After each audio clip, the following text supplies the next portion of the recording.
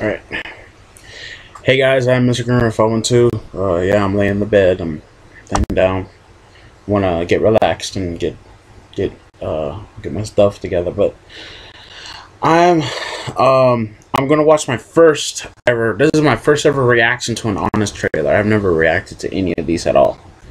So I'm trying to expand my I'm trying to expand my reaches to another galaxy far, far away. I'm stupid. but anyway, um, but yeah, this is my first reaction uh, to a honest movie trailer uh, for Scott Pilgrim versus the World. This is my first honest trailer reaction, so here we go.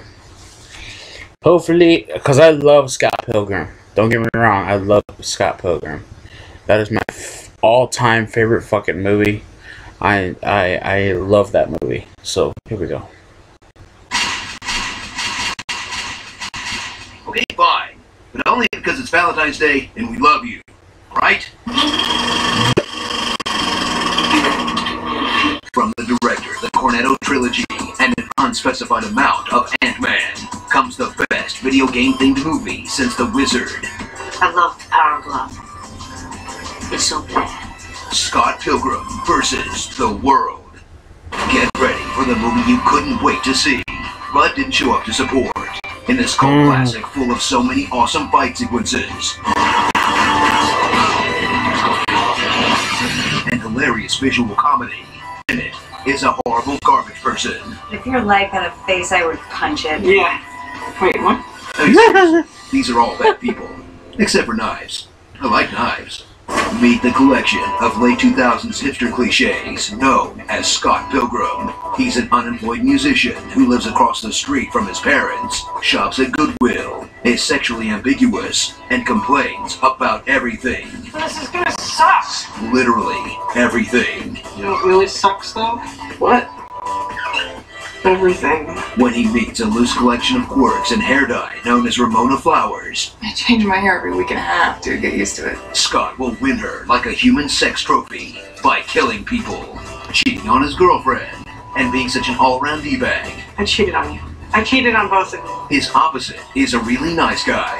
Like him that. Oh, let's do it next week. Yeah, he's, he's just a really nice guy. Indulge Duh. in two hours of pure nerd wish fulfillment, where a guy with no personality, the face of a toddler, and the body of a stretched out toddler hooks up with tons of girls. That time with Lisa? That was a misunderstanding. That time with Holly? That wasn't what it looked like. That time he dumped Kim? Okay, me and Kim are all good now. Kicks Captain America's ass, makes a lesbian orgasm to death, and plays DDR with underage Asian schoolgirls who are obsessed with it. Man, no wonder the internet loves this movie. Experience the definition of style over substance. But when Edgar Wright is doing the styling, who cares? Stare in awe as he mixes 8-bit animation with live action, crafts frame-perfect recreations of the comic book, and hides Easter eggs that correspond to the number of every ex-boyfriend, resulting in a movie that truly feels like a video game that you're watching someone else play. So strap in for one proto-millennial's epic journey towards maturity that ends with him finally growing up and choosing the girl he should have been with all along. Wait a minute, they didn't use that ending? They reshot it so he ends up with Ramona? Why? What was the point of it all then? Be jealous and violent and chase after a toxic relationship even when true love is staring you right in the face? Uh, I don't get young people. Sorry. Ready Player One. Manic Pixel Girl. oh, fucking true. Uh, her? Oh my fucking god, man. Kilgrave obligatory gay best friend, and hashtag not your Asian sidekick, Streetwiner 2 Turbo. I mean, it's fun, but the comic book is way better than the movie. Oh no, I'm that guy. Be sure to subscribe for more honest trailers. The man in black ran across the desert as the gunslinger followed. You're despicable. Prepare to feel the wrath of a league of evil exes. I use an epic voice to mask my insecurities. Reach out and touch someone.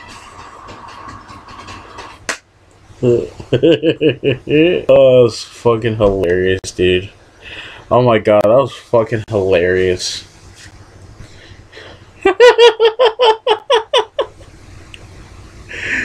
oh my god, it's so fucking true though. It's so fucking true. Well, anyway, um, let me know what y'all guys think of, thought of my my first honest trailer reaction and all that for my channel, and um, yeah, like, comment, subscribe, and all that shit, and. well, I'm Instagram Fun One too, and I will see you on the afterlife. Peace out, everybody.